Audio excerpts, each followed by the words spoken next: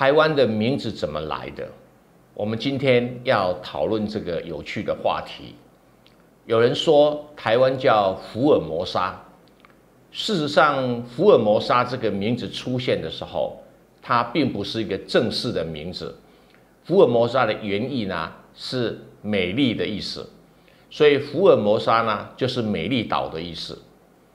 更重要的意思是。福尔摩沙是葡萄牙人和西班牙人，他们在全世界十四世纪航行时，只要走到一个比较美的地方，他们通通把它叫做福尔摩沙。所以南美洲有很多的福尔摩沙，甚至于佛罗里达州的美国也有很多的福尔摩沙的地名，或者是湖泊的名字、街道的名字。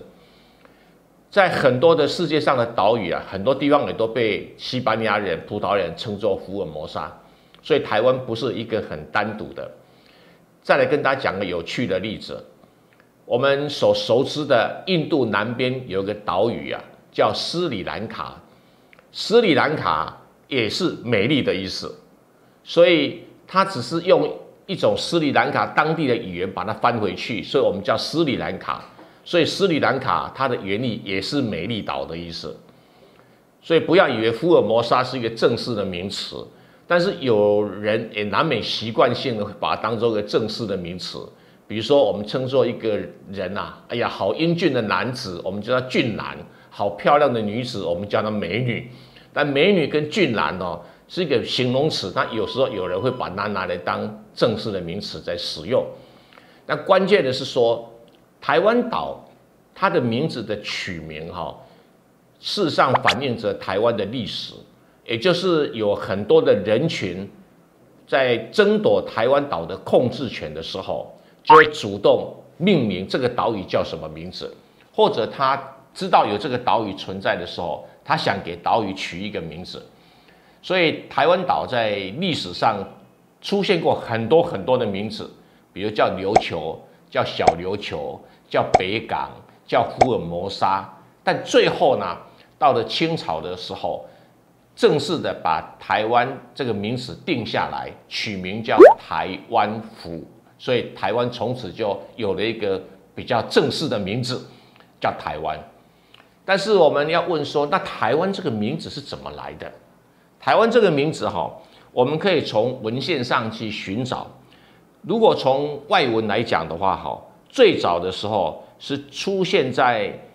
一六二三年十七世纪三月一号，荷兰当时有个舰队司令叫雷野生，他的日记里面是这样写的：他说，荷兰的舰队刚在澎湖海域航行的时候，这个船上哈有一个翻译人员是中国人，这个人叫洪玉瑜啊，他告诉荷兰人说哈。在澎湖对面哈有一个有一个 Bay of Taiwan 啊，用英文来讲或者翻成中文叫大圆湾台湾哈。说 Bay of 的 Taiwan，这个红玉宇是闽南人，所以他讲的话应该是闽南语哈。他说大圆湾哈鹿群片野，很适合荷兰人去经营。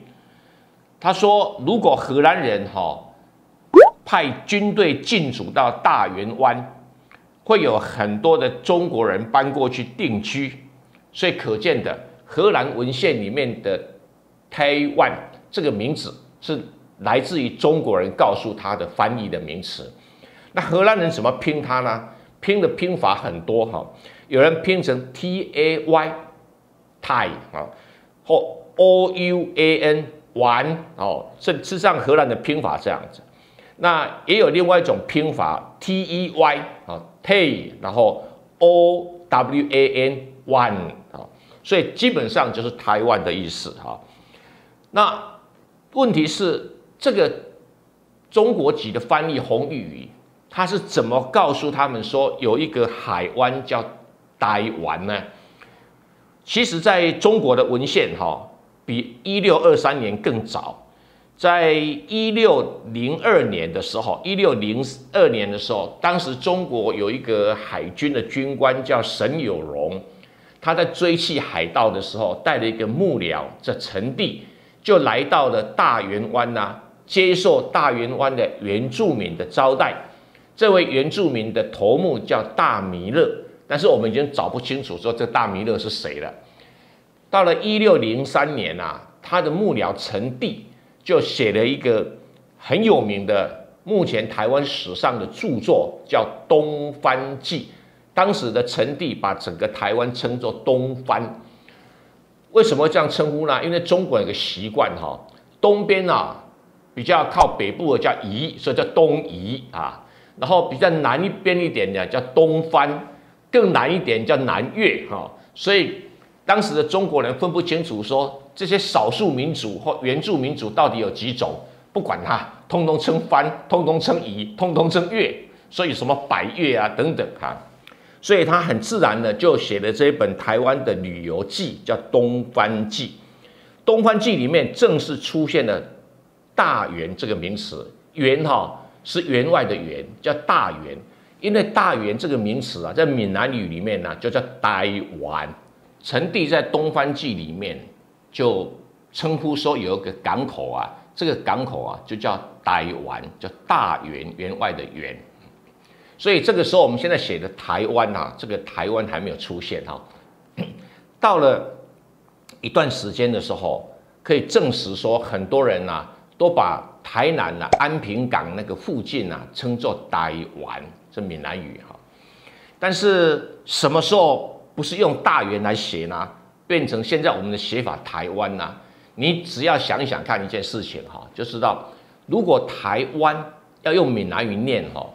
不是像现在的念法，因为现在闽南语里面称台湾都叫台湾，但是如果是正式的要称海湾的湾的话，哈，它就会称台湾。但是你几乎没有听过闽南人用闽南语啊称呼台湾叫做台湾。但是如果用普通话哈，那个台湾那两个字啊，念起来就台湾，不会念成台湾。但是基本上台湾地区都把它称作台湾。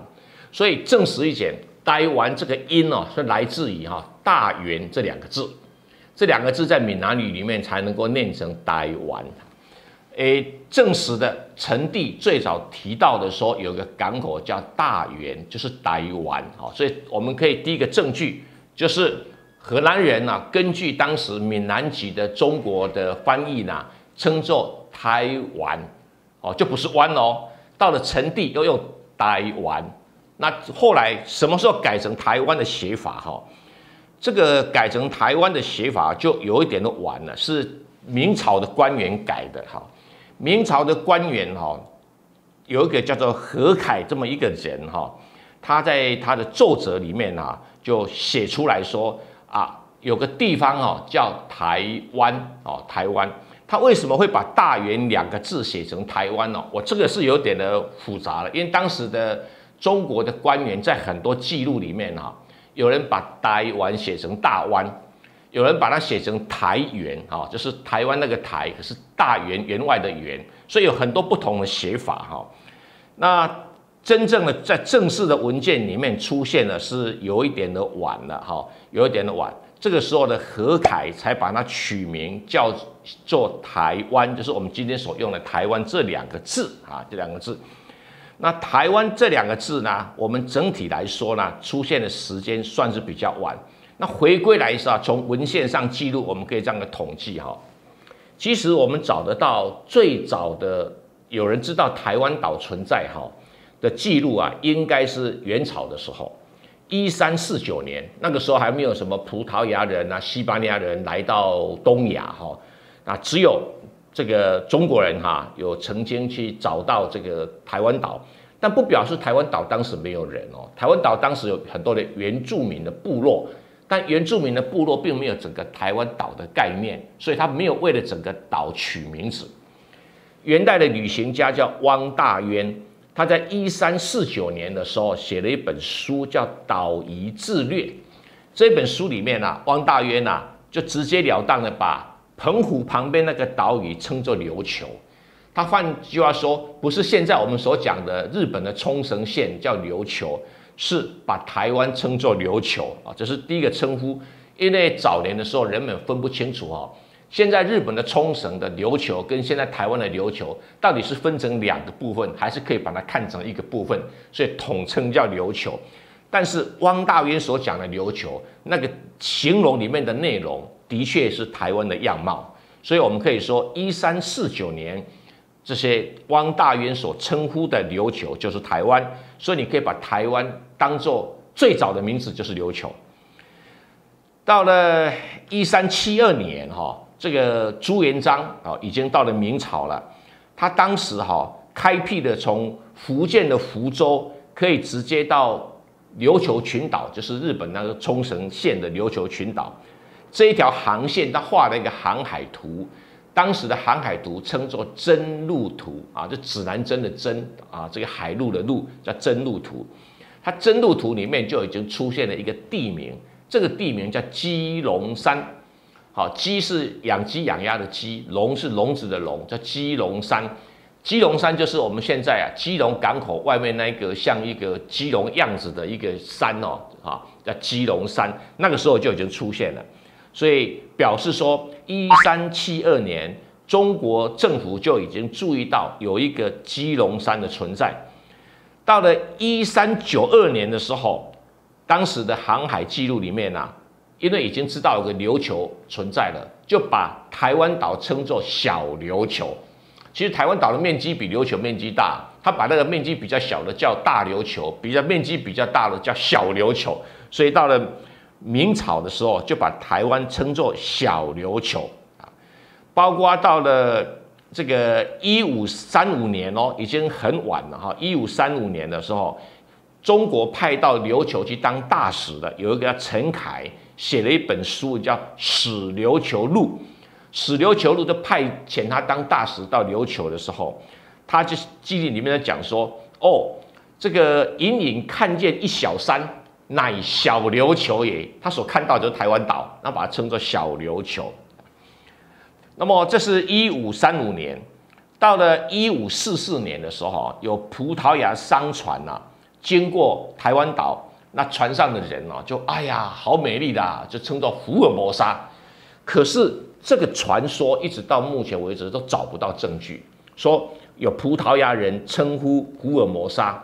啊，有人说这是我们后来台湾史学家自己编出来的故事，但是这个无从查证啊。到了这个一五五五年呐，这个中国又派了一个大使到日本去，这个人叫郑顺公，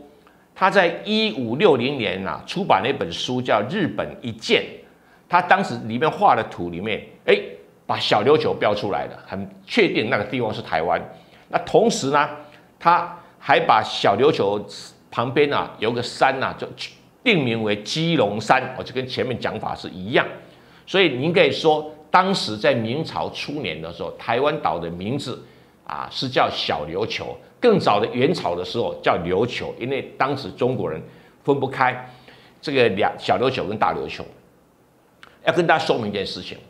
虽然有传说葡萄牙人哈经过台湾海峡，称呼台湾岛是美丽岛，但是。葡萄牙人从来没有登陆过台湾岛，哎，从来没有来过台湾岛哦。特别跟大家说明一下哈。到了一五七三年，很有趣的，有个中国官员叫曹学潜，他在谈倭寇的时候，他的倭患始末，他讲当时有个有个海盗叫林道乾，林道乾他说林道乾哦控制的澎湖呢，然后什么窜逃到东番，所以表示是一五七三年哦。曹学潜哦，也把台湾岛称作东番哦。这个同一个时间里面哈，这个有一个西班牙的神父啊，就把东番呐用西班牙文的翻译啊，叫做什么当嘎浪哈，翻译成当嘎浪当番啊，这是闽南语当番的另外一个翻译哈。而且他讲的很很清楚哦，说当番哈东番哦。是一个周长三百三十四公里的大岛，啊，而且这个南北长三百九十四公里，东西宽一百四十二公里，这个数字基本上是错的。但以当时的测量水准来讲，这已经很了不起了。因为台湾岛实际的周长是一千一百三十九公里，但是第一个认识到台湾是一个很大的岛啊，应该是这个西班牙的神父啊，这个神父哈叫做马丁拉达啊，叫马丁拉达。到了一五八二年哈，我这比较正式，七月十六号有个葡萄牙的船只哈，在台湾岛的西海岸呢搁浅，那船上有个神父啊，叫梅兹，叫 Pedro Gomez 啊，叫高梅兹啊，他直截了当的就把他称呼叫做小琉球。那另外一个神父啊，同船的神父叫桑切斯，叫 Alonso 哦，Sanchez，他也写了一番记录啊。他说：“哎，这个岛叫 Hermosa 哦，注意到哦，第一个 Hermosa 出现了哈，是出现在一五八二年啊，这个名词叫 Hermosa。那我们要说的是说，有趣的是说，葡萄牙人哈就把一五八二年当做个值得纪念的日子，他有一段时间哦，还发行一个银币啊来纪念这个事件，说一五八二年葡萄牙人就跟台湾有所接触。”所以我们可以看得到，台湾的名词很多，不只是如此哦。在一五八九年呐，有一个福建的巡抚，就是福建省的省长哈，叫周才，他写了一段奏章里面哈，他怎么称呼台湾岛呢？他把台湾岛称作北港，注意到不是现在云林县那个北港，而是把整个岛称作北港。所以有一段时间呢，荷兰人也就把台湾岛也称作北港。所以我们可以看得到哈，台湾岛的名字有琉球、小琉球、东番、福尔摩沙、北港都曾经被用过，但最后呢是用大圆港的大圆台湾这两个字，因为当时福建的移民啊来最多的港口啊就是台南那个大圆湾，就是我们现在所俗称的一坤生。或者说俗称的安平港，因为安平港郑成功来才把大元港改成安平港，所以因为一个地点大家很热闹，问说你要去哪里？哦哦，我要去大元啊，就是我要去台湾，就把它变成整个岛的名称。所以到了明代晚期哈，这个很多的官员哈就开始的啊，比如说。有一个何乔远哈，他官位蛮大的哦，他是一个叫做南京工部右侍郎，等于是一个建设部的一个副部长，他是江西人